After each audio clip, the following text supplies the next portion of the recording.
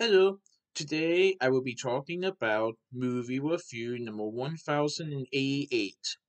This is Close to You. Close to You is a 2024 movie that is directed by Dominic Savage.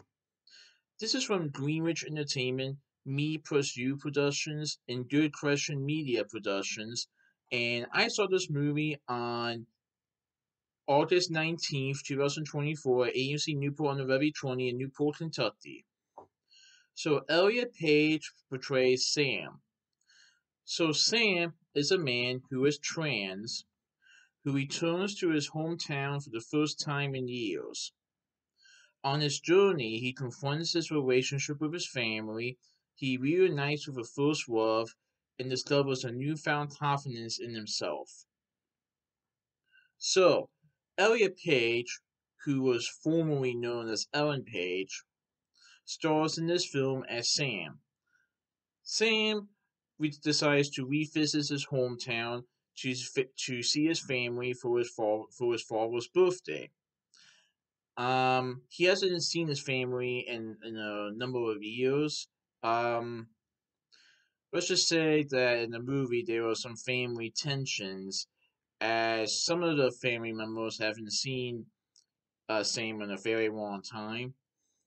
Um, even though most of them, I will say, are okay with Sam being a boy rather than a girl, a couple of them still see Sam as as their girl. And then there was one particular member of the family who asked a bunch of questions about Sam that made Sam a little uncomfortable to say the least. But Sam also reconnects with an with a with a first love of his, who has a family now. But seeing Sam kind of gives her some tears about what life was like back when they were younger. And this is also a movie about Sam rediscovering himself. His journey leads to self self acceptance and newfound strength as his transition in himself definitely was not easy. And he's trying to trying to be in touch with his family again. But his family is trying very very hard to accept sam as he is now.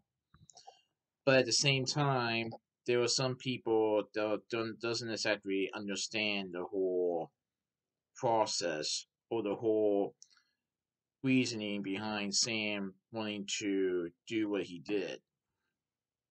I thought it was a pretty good movie, and I haven't seen Elliot Page in a, in a film for a number of years.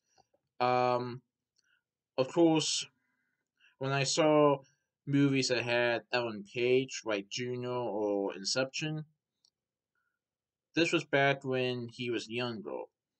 He's a little bit older now, as I don't know the last movie that he was he that he starred in. I don't think it was Inception because that was in 2010.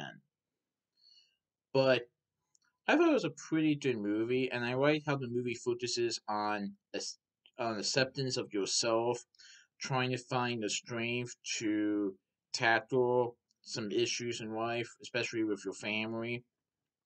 As so, as one's family is trying very hard to accept you for the way you are, but at the same token, they still remember this person as a different self. And I don't want to get into much spoilers. But the the questions that this one particular family member gave to Sam, I didn't exactly like that. I didn't like the questions he asked, and I can definitely understand why Sam got uncomfortable.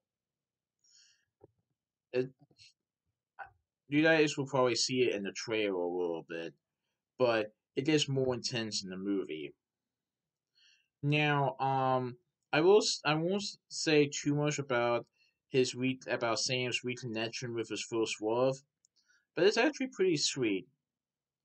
And let's just say that there's still a interest between the two, even though even though the woman has a family of her own but it's still a bittersweet reunion.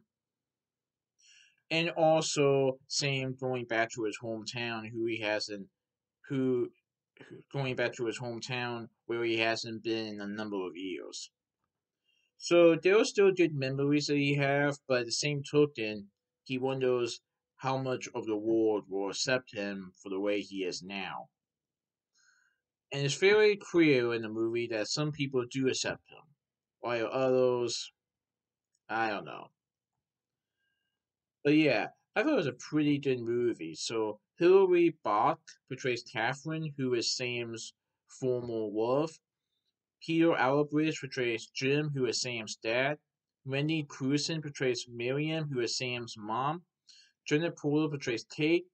Alice Paxton Beesley portrays Megan. Daniel Mastroianni as Michael. Sook-Yin Lee as Emily. Andrew Bushell as Stephen. Jim Lawson as Daniel. David Leo as Paul, and Amanda, Rich- and Amanda Richter as Margot. So yeah, this this was actually a pretty good movie, and I like how Elliot Page actually wrote the story for this film. Yeah, I, I definitely recommend it. So that's my movie review of Close to You, Precinct 2 for this movie review. Alright, goodbye.